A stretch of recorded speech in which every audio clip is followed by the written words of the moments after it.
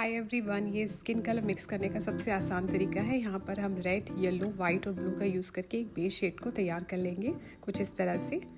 Colour mixing के time पे आपको ब्लू कलर का बहुत कम यूज़ करना है और वाइट कलर को ज़्यादा यूज़ करना है। तो कुछ इस तरह का शेड आपको बनकर तैयार हो जाएगा। इसको यूज़ करके आप लाइटर टोन भी बना सकते हैं, जिसमें आपको वाइट ज़्यादा यूज़ करना है और डार्कर शेड के लिए आपको ब्लू और रेड को ज़्यादा यूज़ करना है।